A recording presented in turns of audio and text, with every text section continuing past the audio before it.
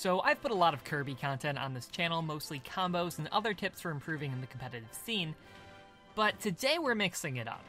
Here's some completely useless Kirby tech and facts that you might not know that will not improve your game in the slightest.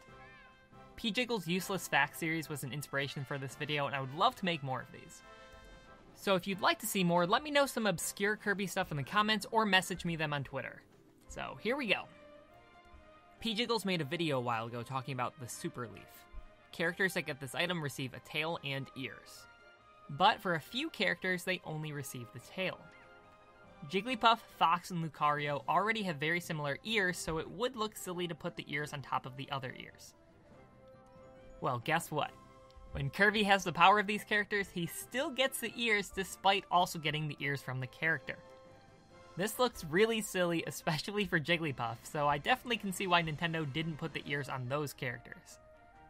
However, they forgot about Kirby or just didn't care enough to implement it in the game, which I totally understand. Now, for most items, when you inhale them with Kirby, you heal 1% and that's it. However, some of them act a little differently, like explosive ones.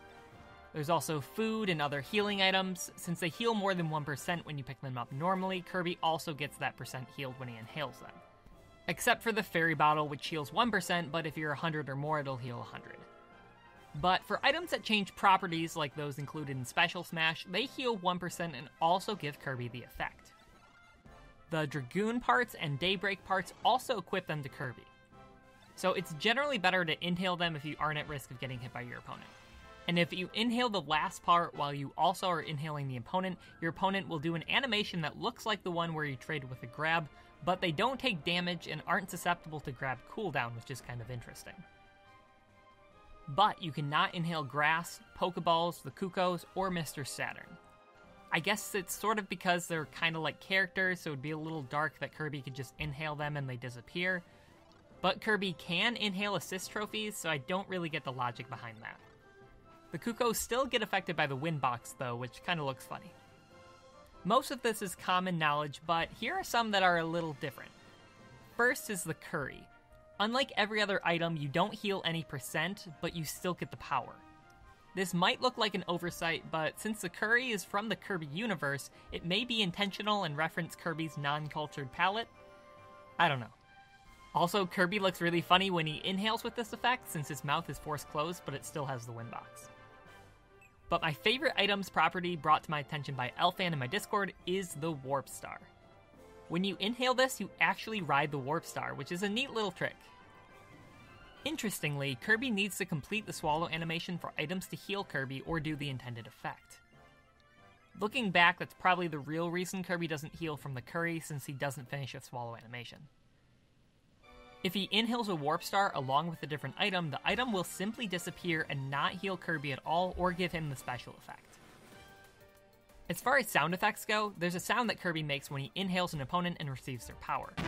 But there's a different sound that he makes when he inhales an opponent without getting a copy ability, like when he inhales a sandbag, another Kirby, or one of the Mob Smash opponents. He does get the regular sound though if he inhales a Kirby who has a power. Kirby's Neutral B wind box is actually bigger than the command grab portion of the move, which is the reason that shielding can sometimes save you from the move, despite it being a command grab. But that's useful stuff, and we aren't here to talk about that. There are some fun things you can do with this wind box. First, Kirby can't inhale characters larger than him, but the wind box still activates, causing Kirby to move with his opponent, which looks pretty funny. Although I guess Hero can get Hocus Pocus to get large, so there are situations where that can be useful, so let's edit that part out. Oh, and while you're there, also remove the fact about not being able to inhale Mr. Saturn because Peach can get that with her down B. No useful information in this video. Some other funky attributes of this wind box being so big is being able to hit yourself with a rolling crate, and also shooting the metal box halfway across the stage when there's an item in front of it. There's probably more, but that was what I was able to find. So I'm not making this video too long so we can have room for more of these videos in the future. If you have any random obscure Smash facts, Kirby or non, I would love to hear them. Let me know in the comments below. Kirby actually told me to tell you to subscribe, so make sure you do that, and also subscribe to my second channel, Juggleboy Minus, for great moments like this one. And let's see how this one goes. DoorDash? What's next? Grubhub? Thank you so much for watching. Peace. Thank you.